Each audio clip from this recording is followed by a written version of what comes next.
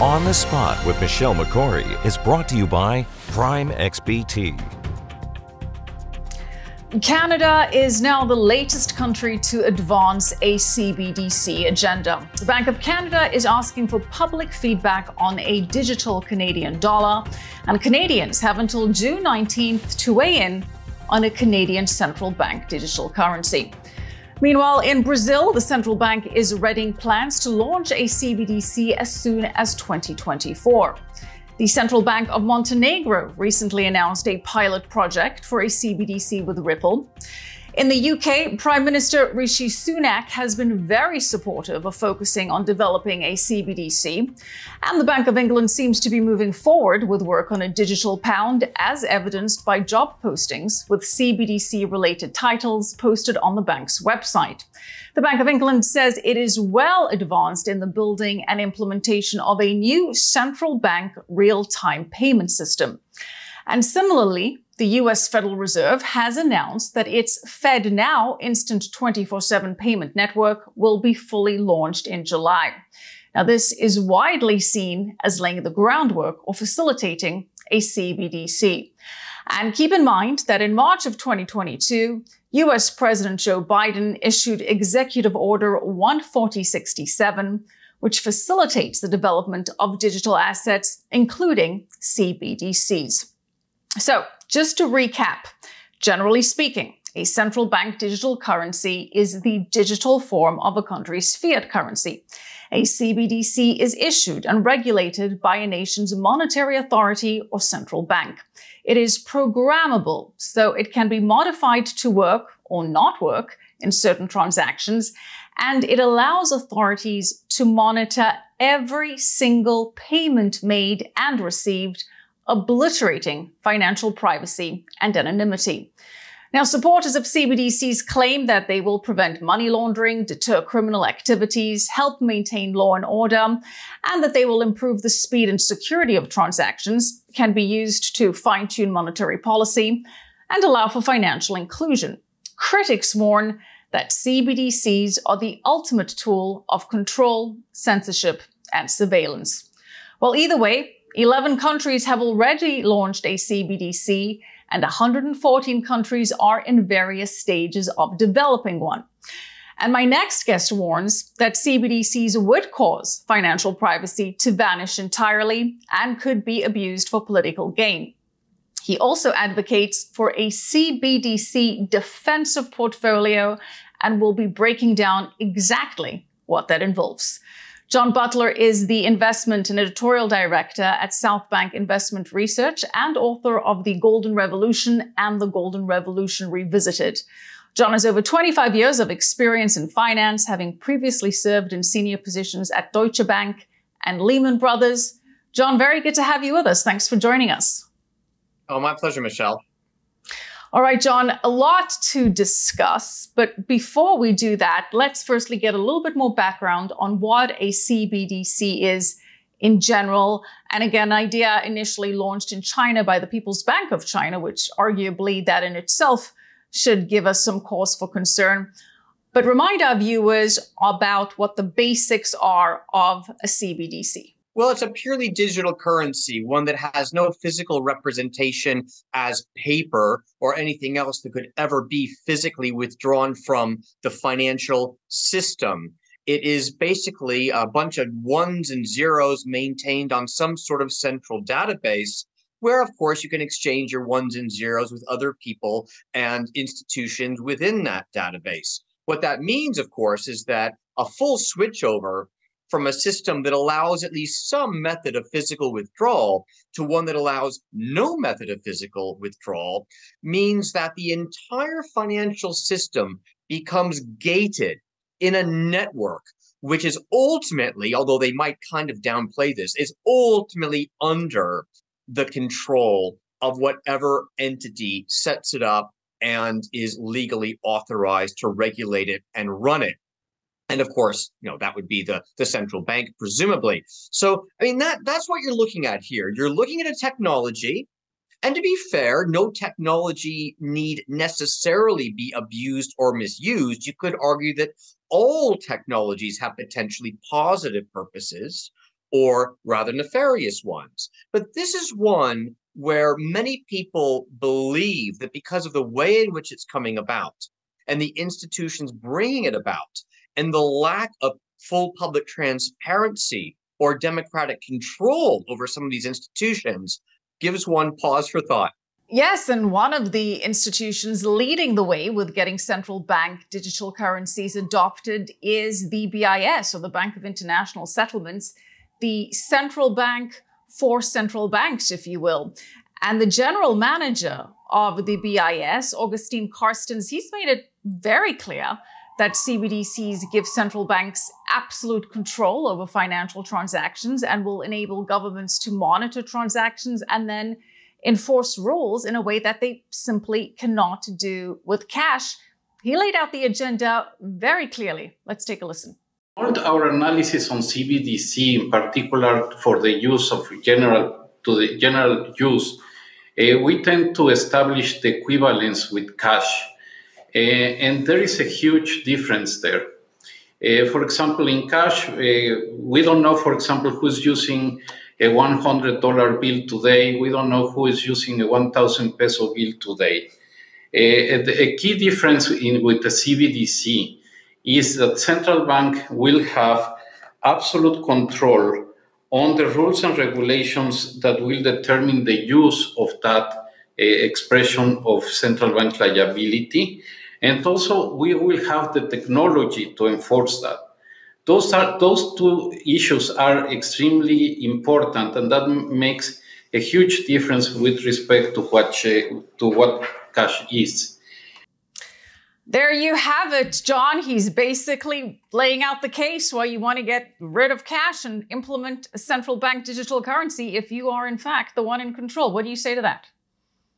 Well, from his perspective, it is understandable. So much easier to deal with a bank run, a withdrawal of deposits that could be destabilizing by making it impossible to withdraw those deposits in physical form, that is, paper, cash, or other physical assets.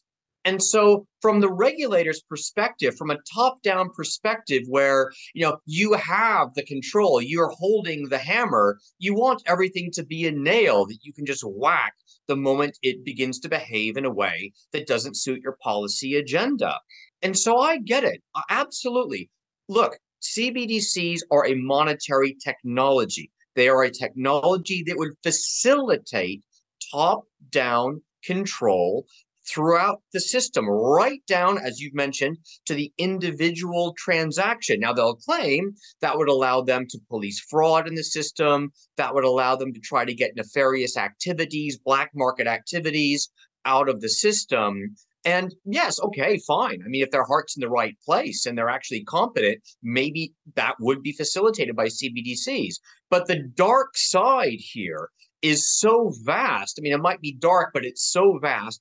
It should be of deep, deep concern to those who still value the role that financial privacy plays in a modern, liberal, free, progressive democracy.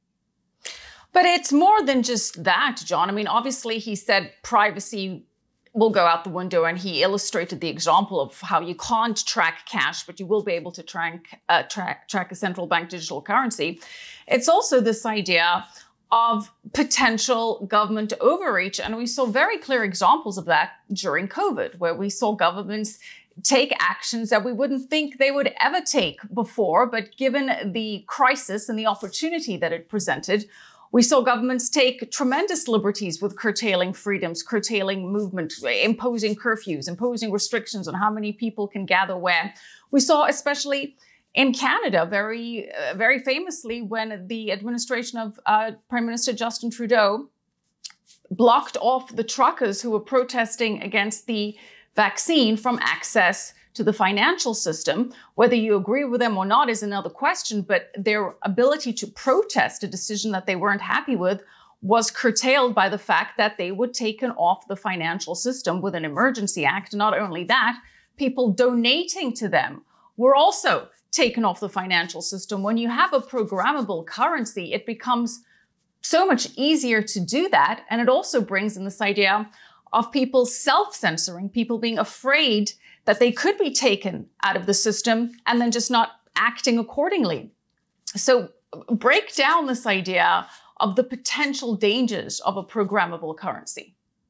Oh, I agree. The potential dangers are vast, and indeed, even one with a vast imagination might struggle to find every conceivable way in which this sort of monetary technology could be abused. You, you've pointed out a very prominent example. My word, it would have been so much easier for you know whoever it was making the decisions here, Justin Trudeau or others in his cabinet or those at the Bank of Canada, it would have been so much easier mechanically in terms of time to reprogram whatever algorithm within the CBDC to use AI to search for whatever spending characteristics people happen to be exercising at the time that showed some pattern recognition with behavior characteristic of someone who might conceivably support the protesters in future even if they weren't supporting them today. This sort of dystopian world that has been let's face it fairly thoroughly explored by a lot of modern science fiction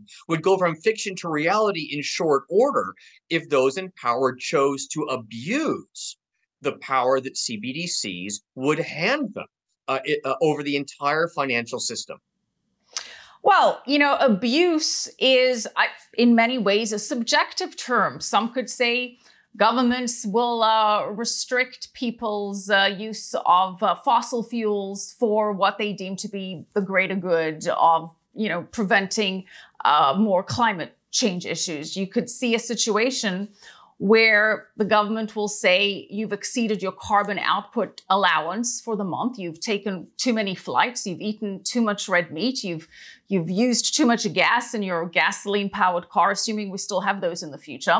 And then your money doesn't work to make transactions that facilitate more carbon output. And, you know, it's uh, arguably to some a matter of perspective. You could say, well, it's not abuse, it's for the greater good. Do you see the idea of a central bank digital currency linked to a so called social credit score? Or do you think that they're not necessarily have to be one in the same? They don't have to be one and the same, but sadly, the track record of governments in modern times is that when they do accrue incremental new powers, the tendency is to not use those powers to facilitate bottom up social interaction and value add to the broader society, but rather to impose specific preferences representing specific, sometimes very narrow interests from the top down uh, that is almost by definition abuse, unless you think that somehow there is this enlightened elite running the show uh, that would govern us better than we could somehow govern ourselves through a somewhat more bottom up democratic process. So I absolutely uh, uh can uh, identify with anyone who shares those sorts of concerns. And so, yes, I am among that group who believe that moving headlong towards CBDCs in the current political context is very dangerous. That said, if you if you uh, if we lived in you know the world of the 19th century or something, when you know the government as a size of the economy was far smaller, regulations were few and far between. Most people went through you know years of their life without any material contact with uh, with a federal government, be it in Canada, the United States, or elsewhere. Now, that was a very different world. Nowadays, it becomes a very frightening proposition to hand over any and all financial privacy to some central organization. And imagine what that kind of means. It also means the end of fiscal policy being independent, because whoever's in charge of this new, totally electronic digital monetary regime, they can literally write in algorithms that, that will implicitly withhold taxes, entirely freeze non qualifying transactions, favor certain individuals over others depending on you know whether their serial number fits a given class or category of privileged persons this could go in so many dystopian directions. Again it's difficult to have the fullness of imagination that would be mm-hmm. required to countenance them all.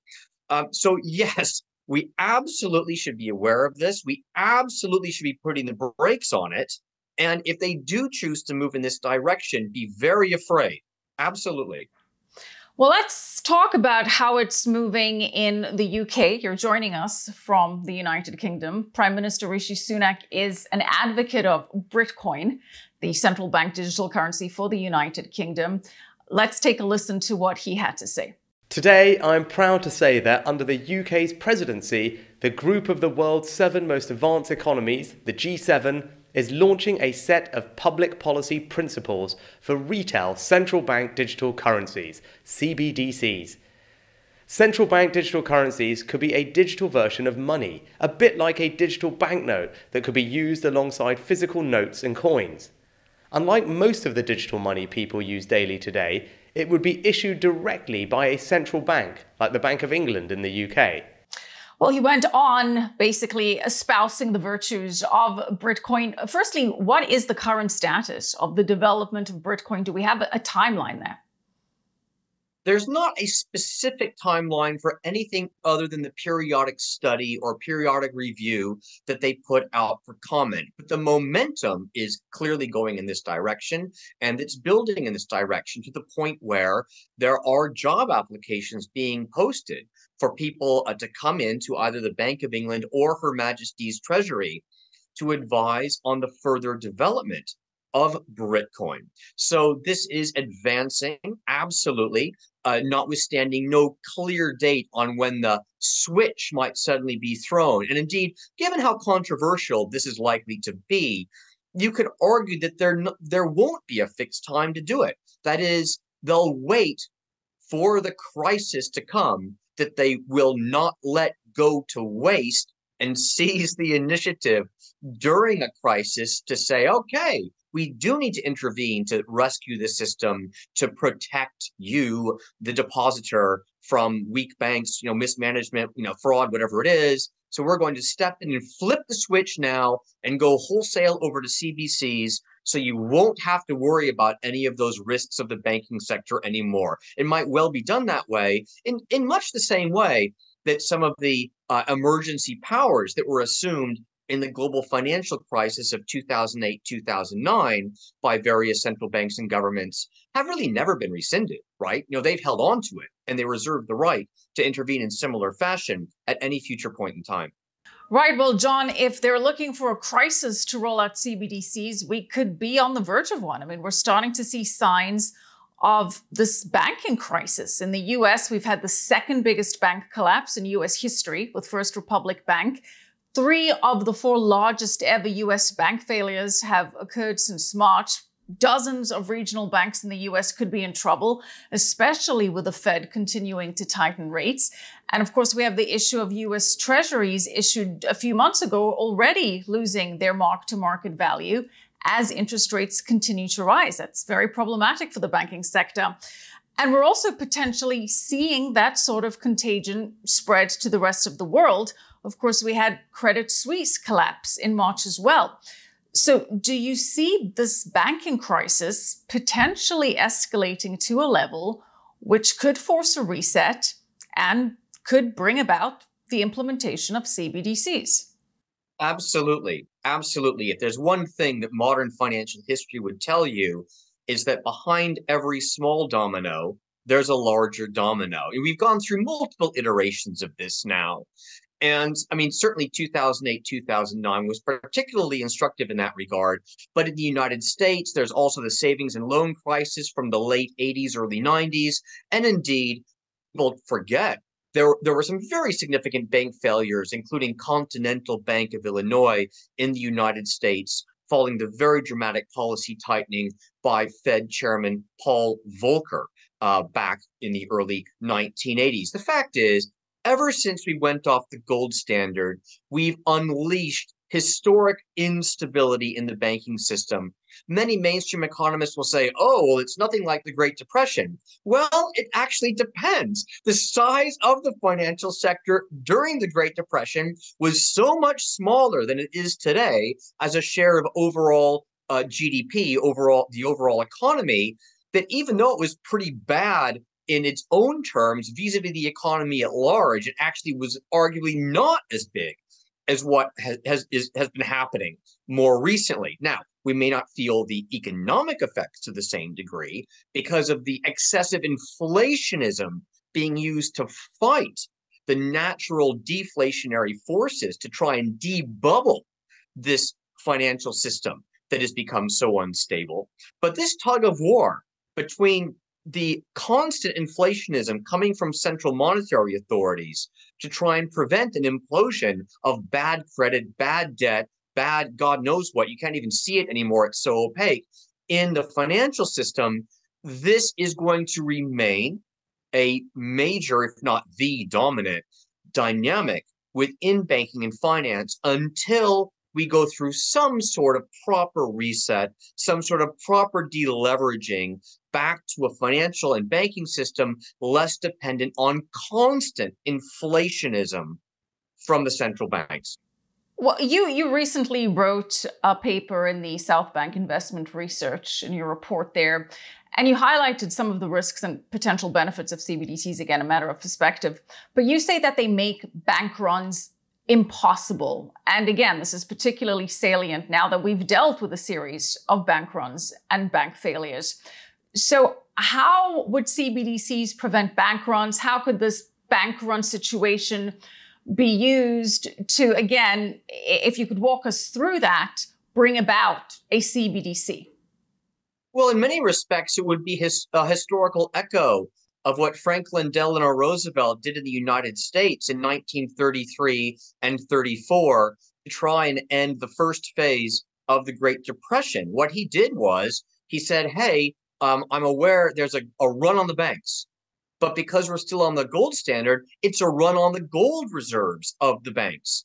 And so he wrote into law that it was illegal to withdraw any further gold from the banks and that any gold remaining in private hands was to be submitted back to the banks or it would be forcibly confiscated by the government under criminal penalties. This, in some ways, is quite similar. They're basically saying, hey, we're not going to allow you to withdraw any of your funds from the banks anymore. Funds will have to stay in the banks. And indeed, we're simply going to even remove the physical possibility that you could pull any physical anything out of the banking system, be it paper, be it gold in custody, be it any physical asset whatsoever. So, in the same way that FDR used this unprecedented and I would argue completely unconstitutional set of actions to try and deal with the Great Depression, uh, we might see something similar this time around. The current banking crisis escalates. Well, as this banking crisis escalates, we're seeing potential for more and more consolidation in the banking sector. How do you see that playing out? Because I know you recently wrote another piece where you said that big banks can always outcompete the smaller banks due to economies of scale and therefore drive the smaller financial companies out of business, leading to increasingly greater consolidation over time. So, break that down for us.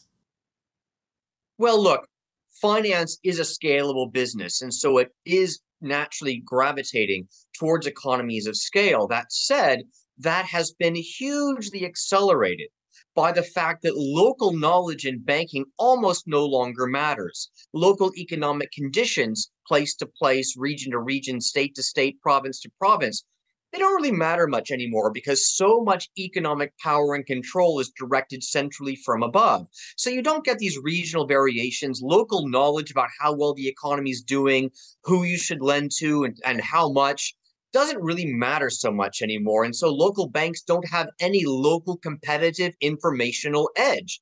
Those who do have the competitive informational edge are those who can pick up the phone and speak to the monetary authorities in their country and get some insight into what their next move is going to be in terms of credit conditions.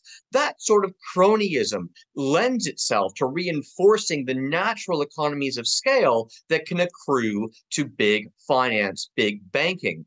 And so this helps to explain why things have been going the way they've been going for decades. What's happening now only accelerates it. I mean, the Fed is practically explicit now in coming out and saying, well, gee, other factors equal, if you're a slightly larger bank, we're slightly more likely to bail out your depositors in the event you get into trouble. What sort of message does that send to depositors in relatively smaller banks? It's basically telling them, get out now while you still can and migrate your deposits to a larger institution that has a hotline to the Fed if they ever need a little help due to their own bad lending decisions and practices. And so that's really where we're at now. And to be honest, it's kind of shameful. I mean, this is this is not just crony capitalism in disguise, it's crony capitalism out in the open. And it's something of which everyone in charge of financial re- and banking regulatory policy nowadays should look in the mirror and be deeply ashamed of themselves. Well, I don't know if uh, they're ashamed, John. I mean, especially when you consider that we still have a Federal Reserve continuing to tighten in the face of all of these uh, collapses as they fight inflation, which uh, they claimed was transitory to begin with. But seeing as we mentioned the US Federal Reserve, I do want to get your thoughts on what Fed Chair Jerome Powell said about CBDCs. He said that it should have four characteristics. And again, I'd, like to remind our viewers that arguably in the US, it would need to be approved by Congress. I don't think that the Federal Reserve would be able to just implement a CBDC. But let's take a listen to how Powell described the four characteristics of a US CBDC.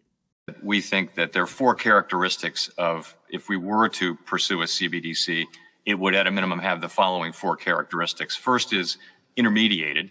Second is private, privacy protected. But third is identity verified. So it would not be anonymous. It would not be an anonymous bearer instrument.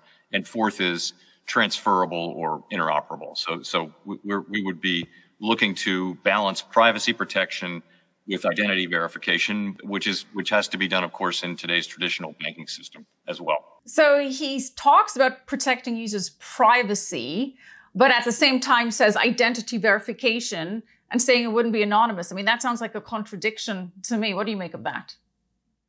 Well, absolutely. And as, as look, as I mentioned earlier, and as we discussed earlier, clearly uh, one of the benefits from the regulator's point of view in moving towards an entirely CBDC based system is that anonymity is totally lost, privacy is totally lost. And what that means is that nowadays, what we understand as the black economy, which, you know, depending on where you live in the world, uh, might be a small portion of the economy, maybe only 10% or so. In other parts of the world, it might be 30, 40, 50% or more. It depends where uh, where money is unstable, where inflation is high, uh, where the drug trade or other black market trades are particularly dominant. Economists try to get data on the black market, but it's black. It's hard, right? It's opaque. It's hard to see what's going on there. And so what happens is that all of those black market activities, right down to begging for food in the street, they end up becoming barter economies. And as we know, barter economies are hugely efficient, especially in the modern world vis-a-vis a non-barter medium of exchange-based economy. And so what CBDCs will do indirectly, although again, policymakers will deny this, is that they will basically throw anyone whose life is dependent on cash in hand for handouts, for a little, uh, you know, sort of money to buy food at, at night, um, but also, of course, drug dealers or anyone else who is uh, providing a good or a service that people in the economy want, but for whatever reason is not favored by the powers that be. And so, one of the benefits, again, from the regulator's point of view, is that it will make those sorts of black market activities, however voluntary, um, very easy to prohibit and gum them up uh, and make them hugely inefficient as a result of forcing them to rely on direct barter rather than being able to use the medium of exchange uh, provided by the government regulator. So, John, most of the central banks that have spoken out about central bank digital currencies assure people that cash will not be taken out of the system, that this will be a complement to cash. The Bank of England has said that, for example. Do you buy that? No, I think that's again. It's just it's you you you you get you know you, you look at history and you get this perspective and you you get governments reassuring people that well we're going to acquire these new powers but they won't be used for that and it just never works out that way. I'm, I'm look. I've become deeply skeptical at my advanced age. I mean, you, you just get to a point where you've seen so many violations of those sorts of reassurances that you just don't take them seriously anymore. And, yeah. and, this to me is just the latest example of a government reassuring us that, oh, don't worry about it. We're going to acquire this potentially vast and potentially easily abused new power, but we won't go there. Uh, I just don't buy it. Well, John, we saw a very interesting situation play out in Nigeria recently, which has seen the adoption of the e Naira, the CBDC there, surge after a severe cash shortage, which some could argue was engineered by the central bank there. As a recap, late last year, the central bank said that it was replacing the old 200, 500, and 1,000 naira notes with new ones, told Nigerians that they have to turn them in. They can't use them after the deadline, won't be recognized as legal tender. Okay, we've seen that happen in other countries. The UK, not too long ago, withdrew old paper pound notes from circulation, said they were going to be replacing them with more durable plastic ones. That happened rather smoothly and over a longer period of time. But in Nigeria, after people turned in the old banknotes, then they were told that the banks had run out of the new cash notes and there was a cash shortage and people were, in fact, forced to go digital with the e-Naira. And as you would expect, adoption of the e-Naira surged, transactions up 63% so far this year. Over 13 million e-wallets have been opened. And prior to this, the adoption of the e-Naira was very low. There was somewhat of a reluctancy to adopt it, although other cryptocurrency adoption is quite high in Nigeria. The government also has been using their CBDC to pay Nigerians welfare, saying if you want to get paid, you have to download e wallets. So essentially, in Nigeria, through this cash crunch, they have forced Nigerians into the digital system. Do you see other governments potentially using measures like this? Well, absolutely. I mean, arguably the most prominent example of all is India, which totally out of the blue overnight uh, completely demonetized lots of large bills. They had to be brought into the banks in exchange for smaller bills. And that led to tremendous chaos because India, as a very large and in terms of per capita income, still relatively poor country, is hugely dependent on cash in hand just to get food on the table day to day, just to get a shirt on your back day to day. And so people that you know are living hand to mouth in a society like India, it was hugely disruptive of them. You know, very, very disruptive. Now you could say, oh, but a wealthy country wouldn't have the same problems. Well, tell that to the relatively poor in the wealthy country. I'm not sure that's the case. You know, are are politicians and central bankers and financial regulators willing to risk throwing all of these people under the bus uh, just so that their you know grand monetary experiment succeeds? Um, again, they'll claim that they're not taking any sort of risk like that at all, that they'll never get rid of cash entirely, and that they would certainly give ample, fair warning thereof.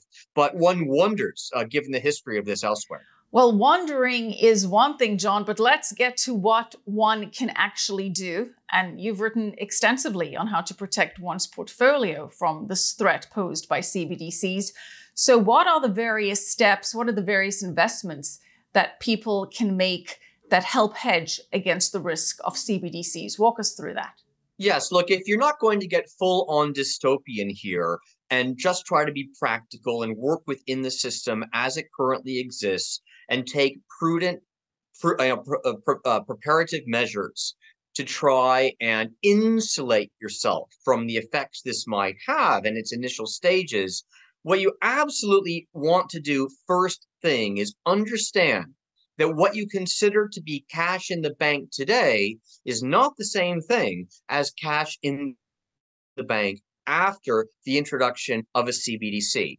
It means you might not be able to get access to that cash in extremis, and it means that that cash may not only be subject to low interest rates that don't protect you from inflation, but potentially outright negative interest rates that you cannot escape by withdrawing physical notes and coins from the monetary system. And so your, your cash is at risk in multiple new ways once CBDCs are introduced. And therefore, what you want to try and do, and again, you must do this prudently and carefully, you want to try and source your liquidity through cash flow rather than a cash hoard. Now, of course, you can do that just by having a job and making sure you're always receiving a steady income and making sure that your employer increases your wages to keep up with inflation such that your cash flow is keeping up with that over time if indeed you are living through an inflationary environment.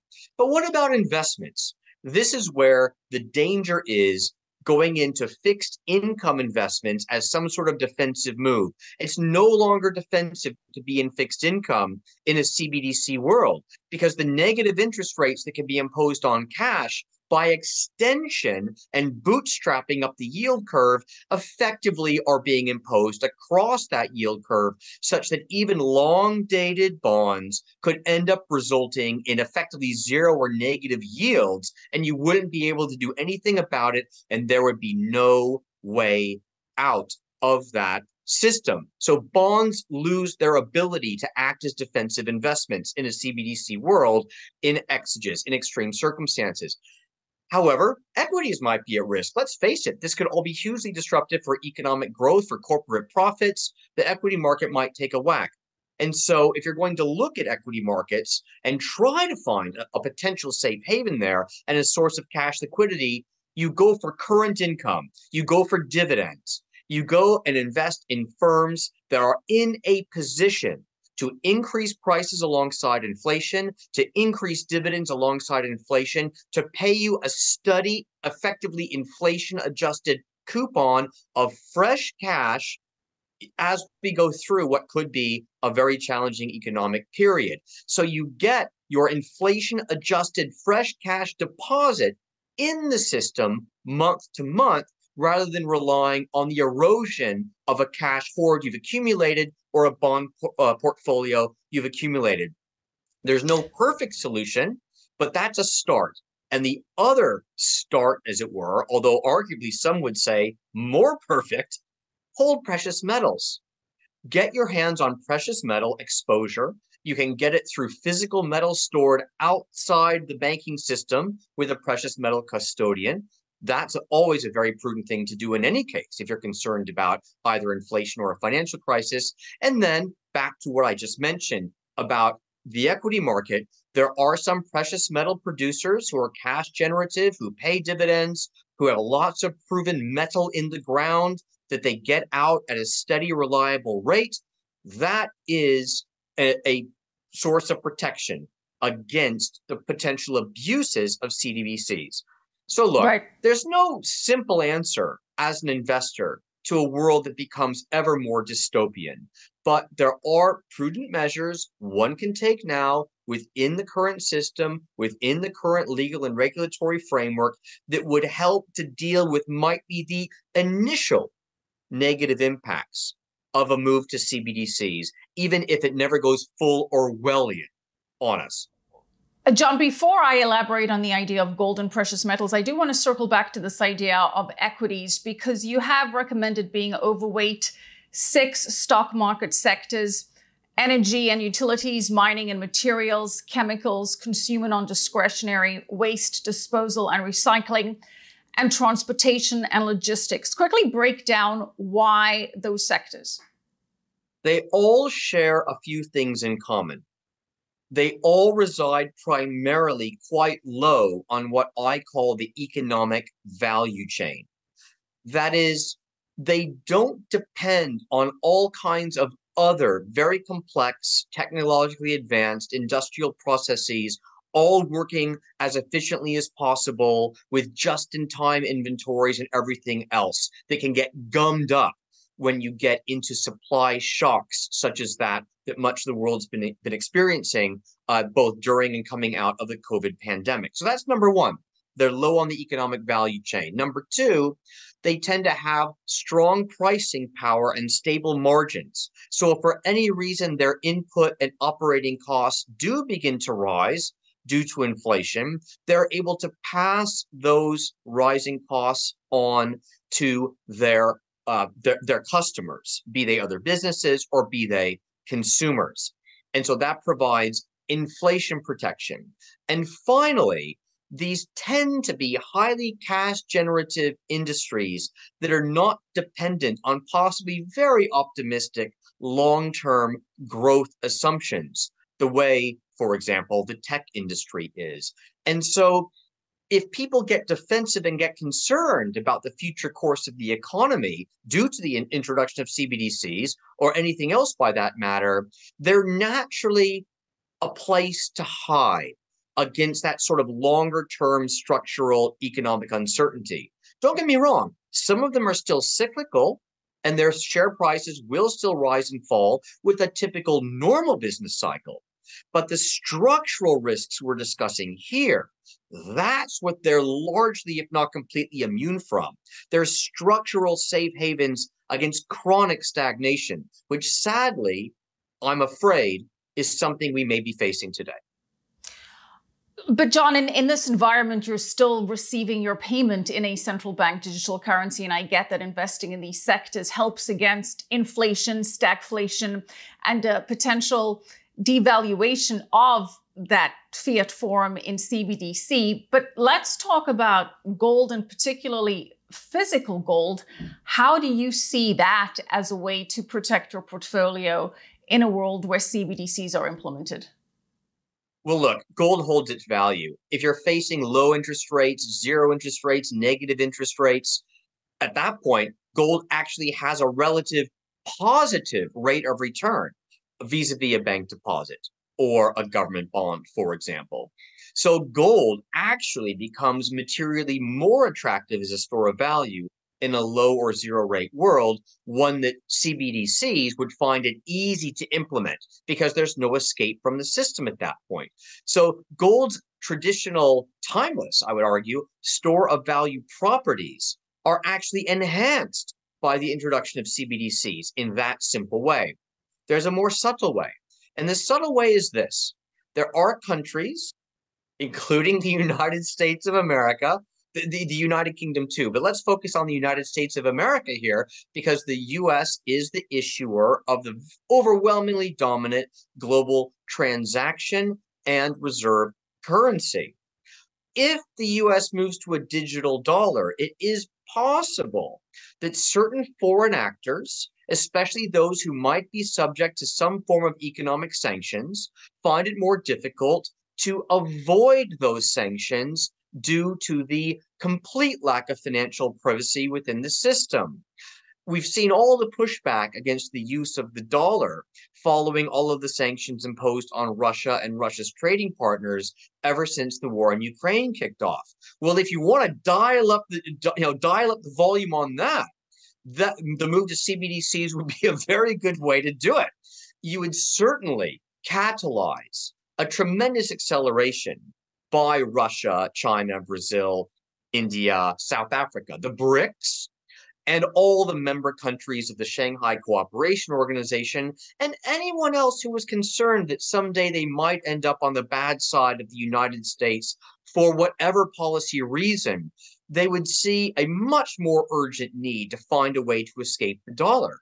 But as the dollar is the bedrock of the system currently, any move away to something else implies the dollar is going to lose the premium that it enjoys in terms of currency strength and relatively low uh, interest rates when it becomes de when the world becomes somewhat not all at once necessarily de-dollarized and the dollar is dethroned from this position but then everyone says oh but that can't happen there's nothing to replace the dollar i disagree there is absolutely something to replace the dollar. And that's the thing that existed before even the dollar itself did. And that is physical gold, precious metals, in particular, physical gold. That could once again become the bedrock of an international monetary system. Modern monetary technology would make it very easy for the BRICS, for the SCO members, or anyone else for that matter, to agree on some neutral jurisdictions in which they would store physical base money, gold, and then issue banknotes that were claims on that base money supply. A new international gold standard could arise out of the crisis of de dollarization that might be sparked by the US implementation of a CBDC combined with a sanctions regime on much of the world at large. And again, people might say, oh my God, that's fantastic. That could never happen that way. They haven't done their history.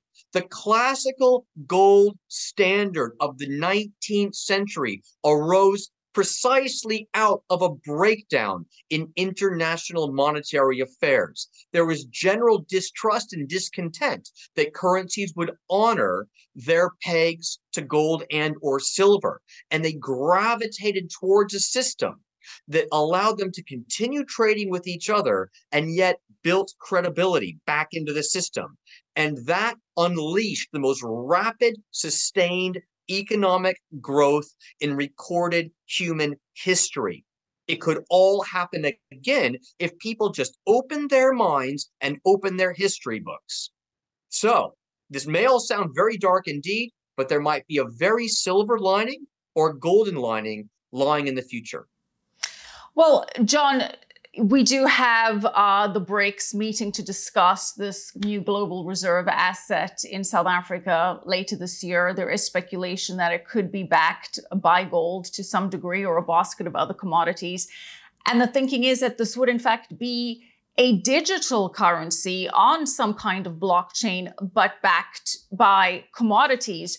But you're saying that the advent or, or the acceleration of central bank digital currencies elsewhere, particularly the Fed coin or one linking back to dollars, would accelerate that move to a central bank reserve asset by the BRICS. And I'll remind our viewers that over 19 countries now want to join the BRICS, but it would accelerate the move to a central bank digital currency by the BRICS, potentially or most likely backed by gold. Absolutely because gold is the only asset that everybody can agree to disagree about. Look, everybody would love to have their own CBDC. Everybody would love to have their own digital printing press and to abuse it however they want to abuse it for personal, national uh, advancement, power, projection, whatever it might happen to be. But if you want to trade with other countries, that's not going to fly.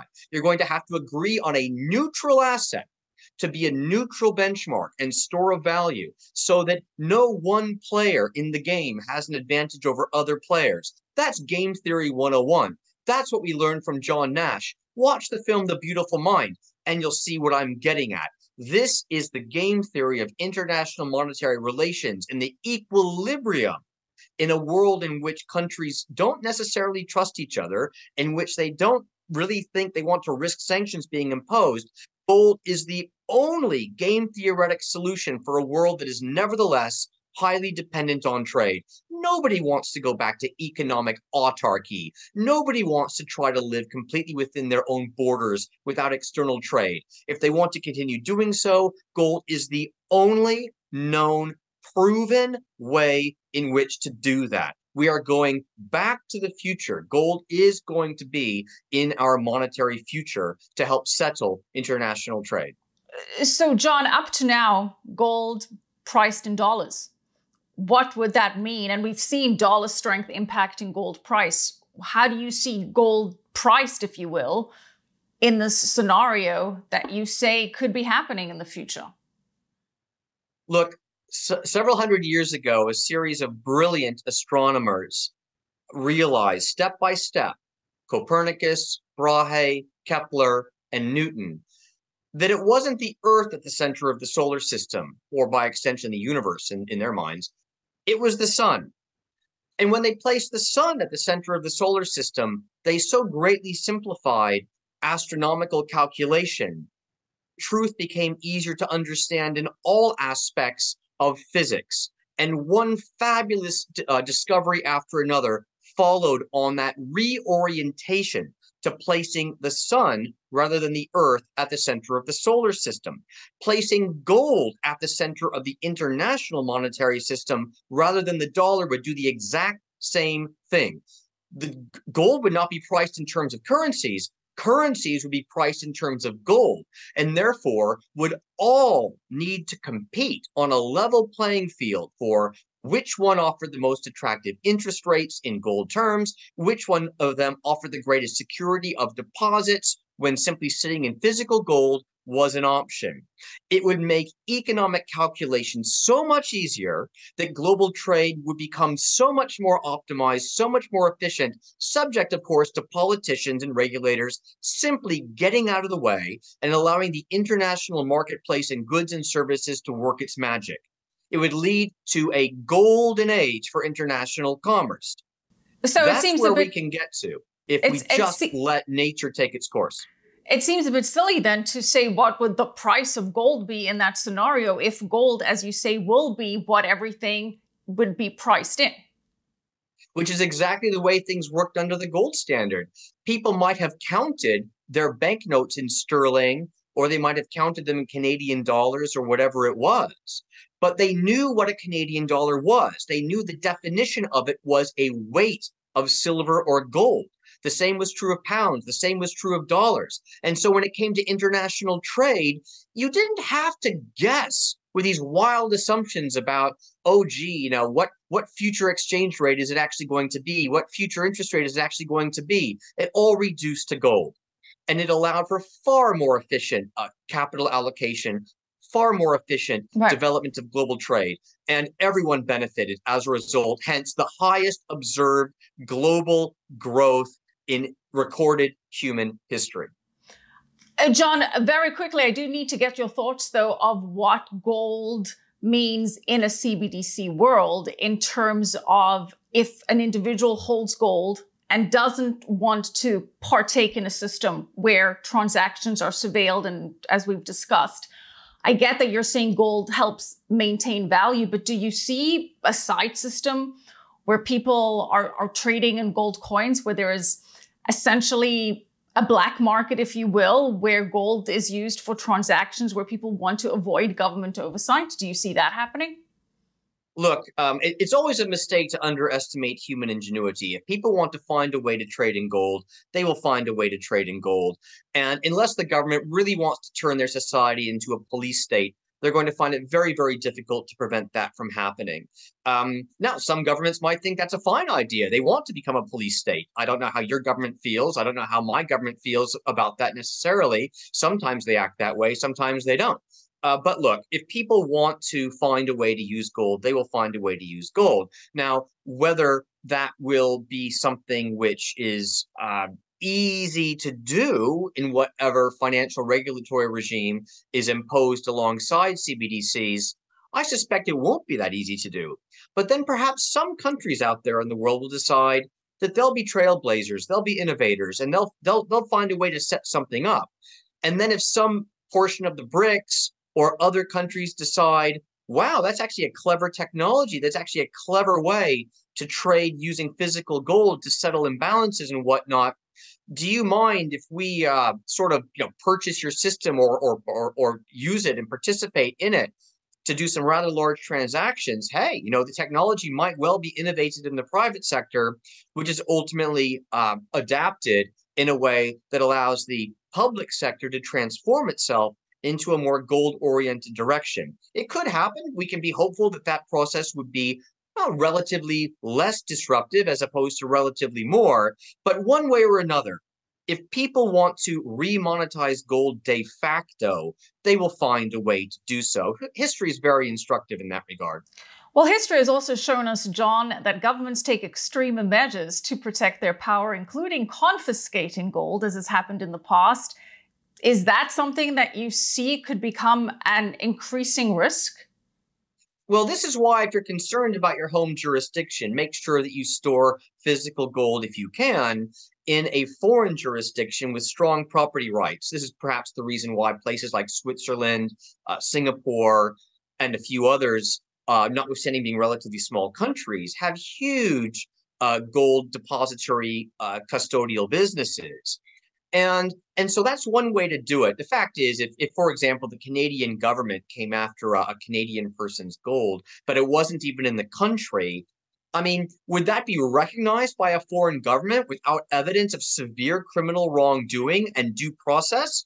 Um, it, would, it would look sort of arbitrary. And, and this is why I've long since argued that, in contrast to any digital currency, and that, that would include a cryptocurrency, in my opinion, gold acts as a physical monetary habeas corpus. That's the Latin term for something that must be physically seized.